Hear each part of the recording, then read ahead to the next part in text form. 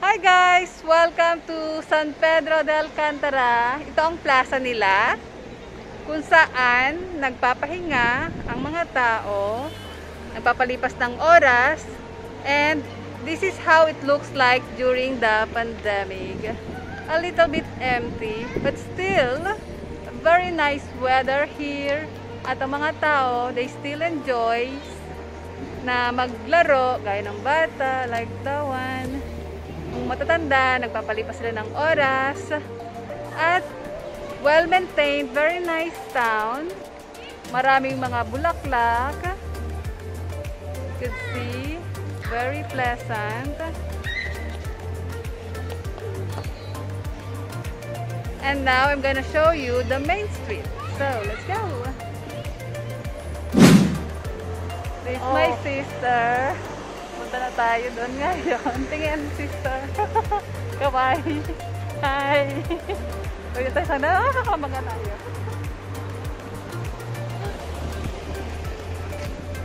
So, dito na tayo ngayon sa main street.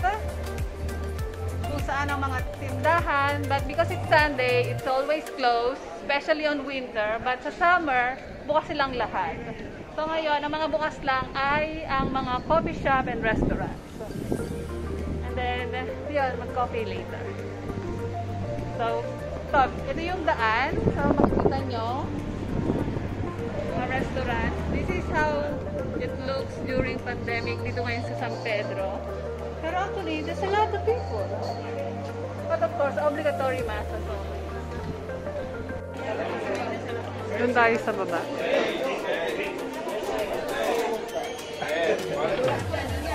Aga-aga, bills sila.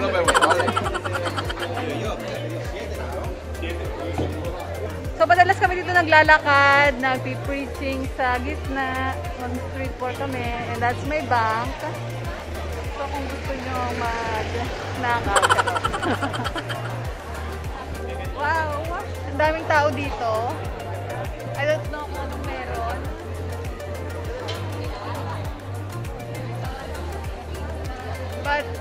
Uh, typical Spanish kapag Sunday, nag-meet ang mga family, mga friends para mag-catch up lang, kwentuhan.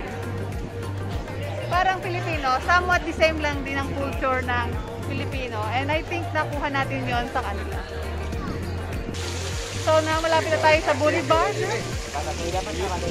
Ito na, sabay na namin sila, papunta doon. And now, here we are.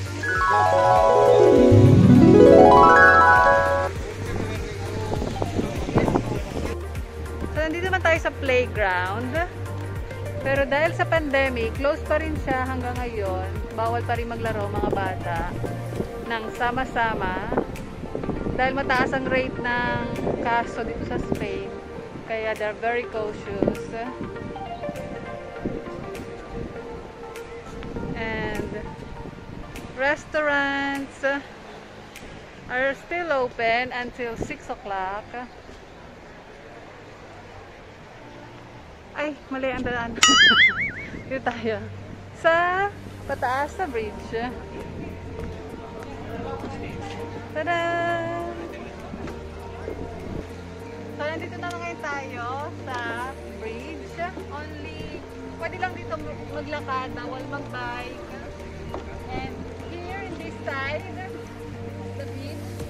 Yeah. Perfect. So that's the beach. Only about 5 minutes walk. So it's very close. If you want to hire, if you want to have a bike ride, you can rent just across the street. You can enjoy cycling. There's a beautiful bike lane.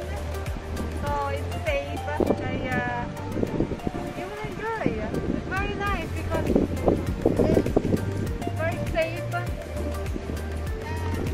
very cheap, the bike. It's 8 euros per day.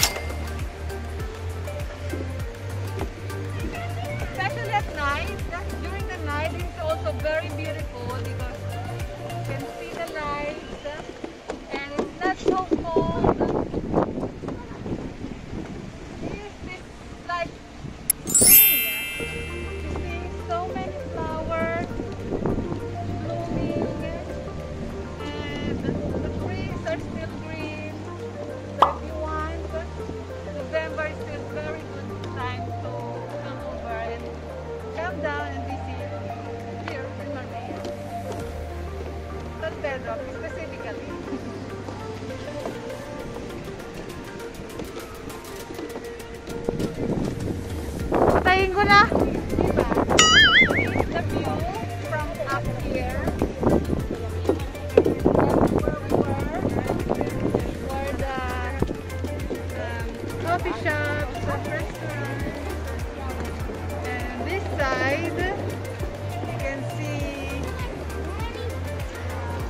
Danan.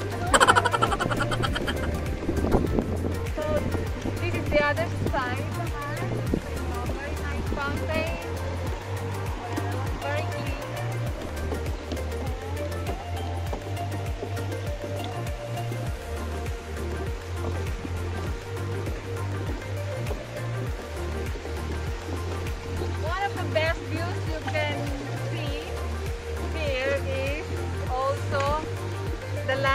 Of Marbella.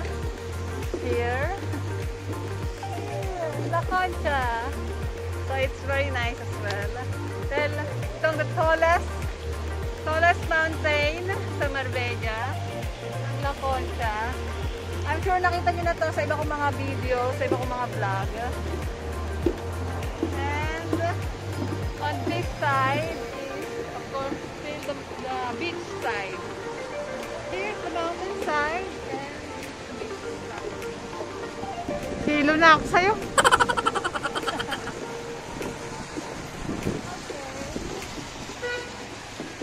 Ito, ito maganda din. Hindi, ito totoo.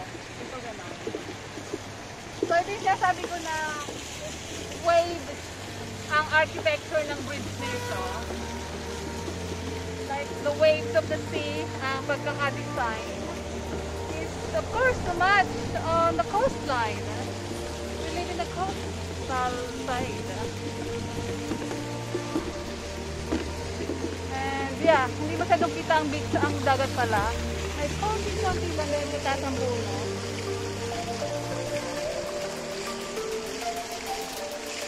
So, ang init, ang tirik ng araw dahil alas 2